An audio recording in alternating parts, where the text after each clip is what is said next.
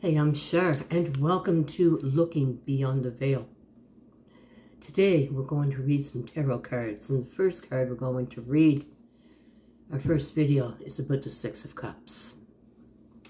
Okay, so the Six of Cups represents innocence, nostalgia, and positive thinking, allowing past experiences to guide you on your new path.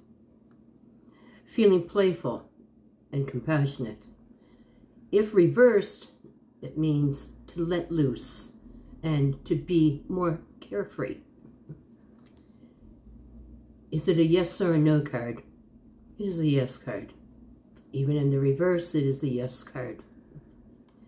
The element is water, the planet is the sun, and the astrological sign for this card is Scorpio.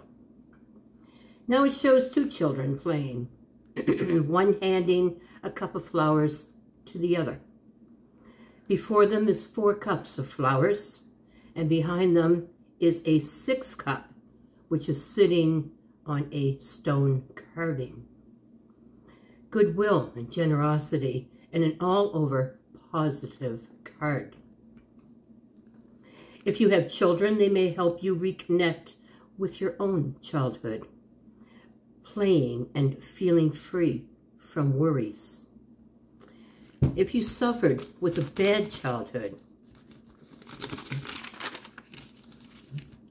this card tells you that your situation will soon improve.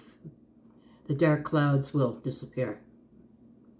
In a career reading, seize the day. Take advantage of this time to be productive at work. In a financial reading, it speaks of giving or receiving charity. it can also mean inheritance, or if you could be thinking of maybe making a will.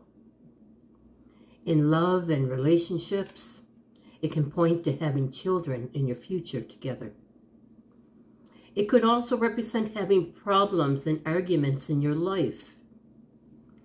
These disagreements are likely caused by immaturity or unwillingness to take responsible responsibility for one's actions.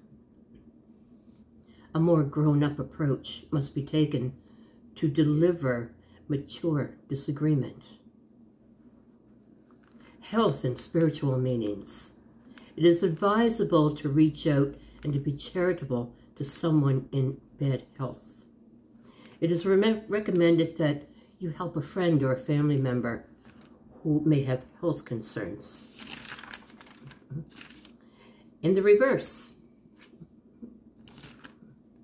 it means growing up and leaving home.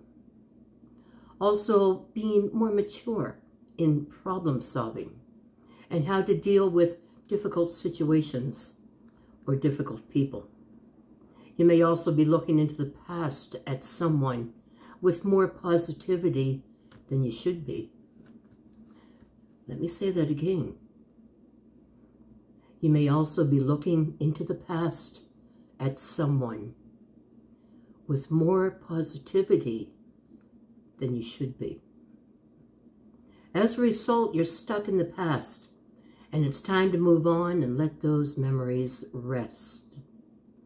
The Six of Cups upright must always as an all tarot spreads, be read with surrounding cards.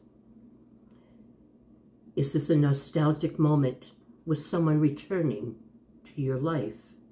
The surrounding cards should tell you what the Six of Cups meaning is truly in a spread. What does it really say? I want to thank you for joining me. And if you like this video, please like, share, and subscribe. Thank you.